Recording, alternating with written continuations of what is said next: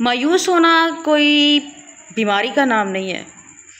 مایوس ہونا ایک کنڈیشن کا نام ہے، جیسے کہ موسم بدلتے ہیں۔ اسی طرح انسان کے دل کے موسم بھی بدلتے رہتے ہیں۔ اور یعنی کہ اس کو زیادہ وہ سیریس نہیں لینا چاہیے کہ میں مایوس، مایوسی کیوں آ رہی ہے؟ یہ۔ انسان کبھی نہ کبھی اپنے گزرے ہوئے لمحات سوچ کر کہ میں نے وہاں پر کچھ کرنا بھی چاہا تو نہیں کر پایا۔ اس وجہ سے آپ کو نیکسٹ بھی کسی کچھ ایسا سوچنے پر کہ میں یہ کروں، لیکن پچھلی جو چیز گزری ہوتی ہے، وہی چیز آپ کے ذہن میں کہیں نہ کہیں گھر کر گئی ہوتی ہے۔ جس کی وجہ سے آپ کو مایوسی ہوتی ہے۔ یا پھر یہ بھی ہو سکتا ہے کہ ہم مایوس لوگوں کے ساتھ رابطے میں رہتے ہیں۔ ایسے لوگ جو نیگٹیو سوچنا پسند کرتے ہیں، خود بخود ایسی چیزیں سوچتے ہیں جو کہ انسان کو مایوس کر دیتی ہیں۔ ایسی سوچ سے بھی بچنا چاہیے۔ جو سوچ آپ کو آ رہی ہے، وہ سوچ آپ کی اپنی نہیں ہے۔ وہ شیطان کی طرف سے ہے۔ کیونکہ شیطان چاہتا ہے کہ آپ مایوس ہو جائیں۔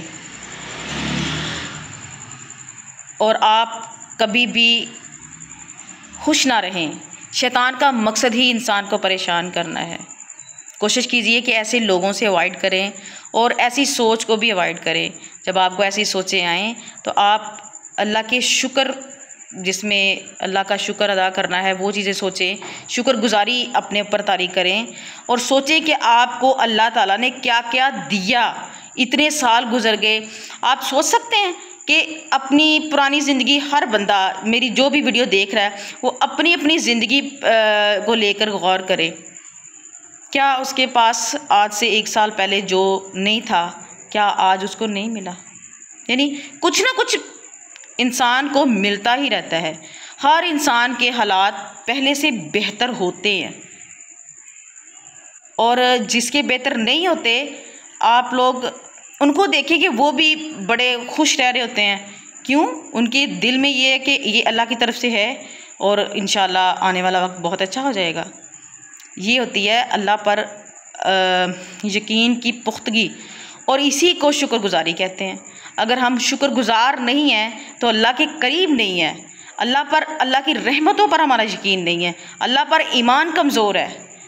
سو جو لوگ مایوس رہنا پسند کر رہے ہیں، ان کو سوچنا چاہیے کہ وہ کن لوگوں میں شامل ہو رہے ہیں۔ کیونکہ ہدایت بھی اس کو آتی ہے جو خود طلبگار ہوتا ہے۔ تو کوشش کیجیے آپ اپنے آپ کو خود کھڑا کیجیے۔ کبھی بھی مایوسی کی طرف غور نہ کیجیے کہ جو کچھ ہو گزرا وہ ہو گزرا۔ اور کوشش کیجیے کہ اپنے آپ کو خوش رکھنے کی۔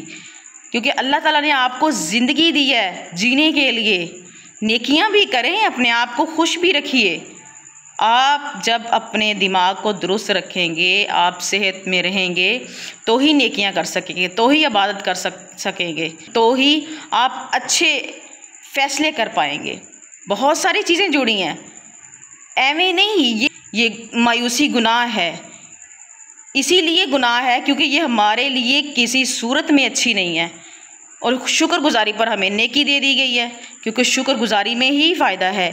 جو برا وقت گزر چکا، جو ہو چکا، اس کو تقدیر سمجھ کر، اللہ تعالیٰ کی رضا سمجھ کر، اس کو اپنے ذہن سے ڈیلیٹ کیجیے۔ اور آنے والے وقت میں دعائیں ہیں آپ کے پاس جو آپ کی تقدیر بدل سکتی ہیں، آپ کی ہمت ہے جو آپ کی تقدیر بدل سکتی ہے، تو ان چیزوں کو لے کر آگے بڑھیں۔ اور کوشش کیجیے اچھی محفل میں بیٹھیں۔ جیسے کہ ایک بندے کو نزلہ زکام لگ گیا ہے تو وہ ساتھ والوں کو بھی یہ جراثیم پھیلتے چلے جاتے ہیں۔ اسی طرح یہ مایوسی بھی ایک اس طرح کی چیز ہے کہ جو انسان کسی کو دیکھتا ہے، بیٹھتا ہے اس کے پاس، تو وہ اسی طرح کی جو ہے وہ آپ کے آپ کا ذہن بننا شروع ہو جاتا ہے۔ تو بس اوائڈ کریں ایسی لوگوں کو، ایسی محفلوں کو اور ایسی سوچوں کو۔ کوشش کیجیے پلیز